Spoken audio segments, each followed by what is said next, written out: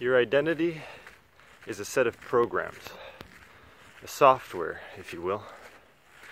When you're a child, you're fluid.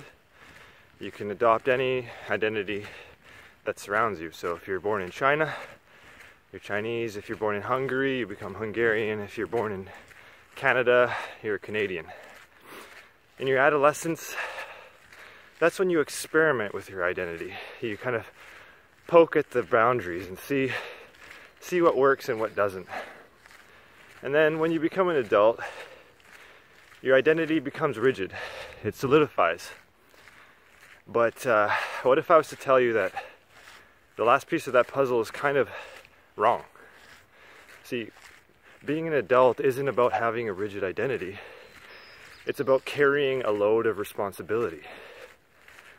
And identity has nothing to do with that. So just rem- remember that you can become more fluid again. If your software isn't working, maybe it's time for an upgrade.